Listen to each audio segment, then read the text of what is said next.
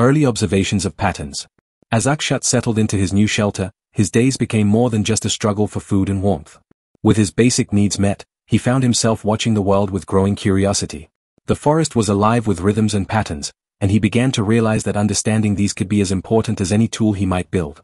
Each morning, he woke to the same chorus of birds. Some called only at dawn, others at dusk. He noticed that the monkeys always traveled the same route through the trees, arriving at a certain fruiting vine just as the fruit ripened. Deer visited the stream in the early morning, never at midday. Even the insects had their own schedules, some swarmed in the heat, others only after rain. Scientific note, phenology, the study of nature's cycles. Phenology is the study of how plants and animals respond to the changing seasons.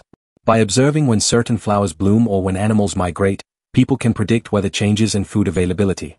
Early humans relied on these patterns for survival, just as Akshat is beginning to do. He began to mark these events in his mind, creating a mental calendar.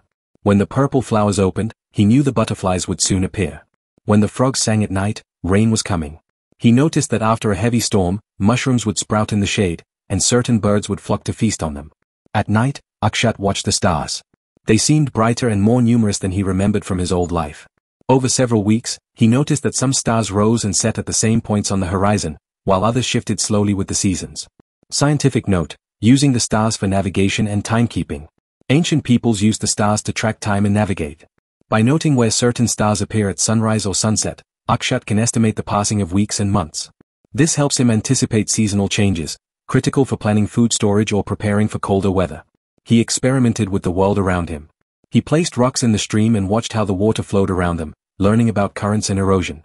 He tracked how the sun's shadow moved across the ground each day, using a stick to mark its path. Scientific note, simple sundials and water flow. By sticking a branch upright in the ground and marking the tip of its shadow at different times, Akshat creates a basic sundial.